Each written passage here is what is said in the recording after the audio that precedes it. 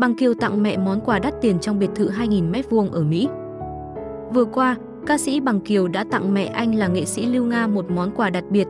Anh thuê người về. Lắp đặt cho mẹ một căn bếp mới đầy hiện đại trong biệt thự rộng 2.000 m2 tại Mỹ.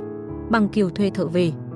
Thi công lại toàn bộ gian bếp, lắp tủ chặn gỗ, bồn rửa bát, bàn ăn lát đá hoa cương mới cứng. Anh Đích. Thân đứng giám sát thi công, kiểm tra chất lượng. Nam ca sĩ chọn thi công loại tủ chặn xuyên suốt, kéo. Dài khắp gian bếp và đồng bộ.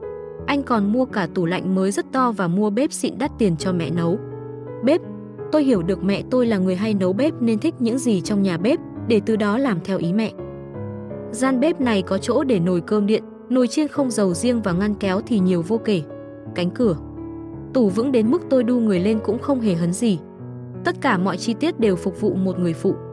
Nữ chuyên nội trợ như mẹ tôi, Bằng Kiều nói.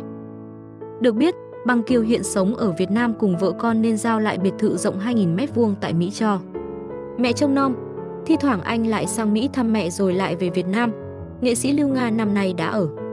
Tuổi U90 nhưng vẫn khỏe mạnh, minh mẫn và thích nấu nướng. Bà ở một mình trong biệt thự rộng 2.000 mét vuông, ngày ngày quét dọn, chăm cá, chăm cây. Về căn biệt thự này, ngay dịp Tết vừa qua nam ca sĩ đã hé lộ hình ảnh khu vườn đầy hoa trong cơ ngơi. Rộng rãi của mình, anh chia sẻ, flex với cả nhà vườn nhà tớ hoa nở rực rỡ cả mùa xuân.